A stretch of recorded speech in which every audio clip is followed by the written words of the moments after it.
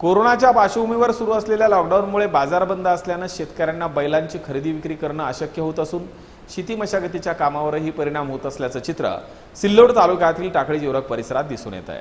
कोरोनाच्या पार्श्वभूमीवर गेल्या दोन अडीच महिन्यापासून राज्यात लॉकडाऊन सुरू आहे. या लॉकडाऊनची सर्वांनाच झळ पोचतीये. उद्योग व्यापार एवढेच नाही तर शेती व्यवसायावरही परिणाम होत असून शेतीमाल विकण्याच्या अडचणीसोबतच आता जनावरांची खरेदी विक्री ही अडचणीत सापडली आहे. जनावरांचे बाजार बंद असल्यानं ऐन खरीपाच्या पूर्वसंध्येवर बैल मिळणं कठीण झाल्यानं शेतकऱ्यांची मोठी पंचायत झाली आहे. त्यामुळे शेती मशागतीच्या कामांनाही अडचणी निर्माण झाल्या आहेत कोरोनाच्या पार्श्वभूमीवर जिल्ह्यात चौथ्या टप्प्यात लॉकडाऊन सुरू असल्यानं शेती संबंधित अनेक अडचणींचा सामना शेतकऱ्यांना करावा लागतोय.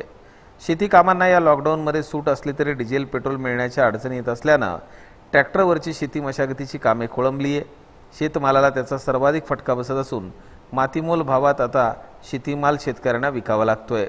गेल्या काही दिवसापासून यांत्रिकी शेतीला प्राधान्य दिल्या गेल्यानं बैलजोड्या वापरणाऱ्या शेतकऱ्यांची संख्या कमी झाली. त्यातच खरीपाचं काम आटोपले की बैलजोडी विकून पेरणीच्या वेळेस बैलजोड्यांना बाजारात मागणी वाढत असते.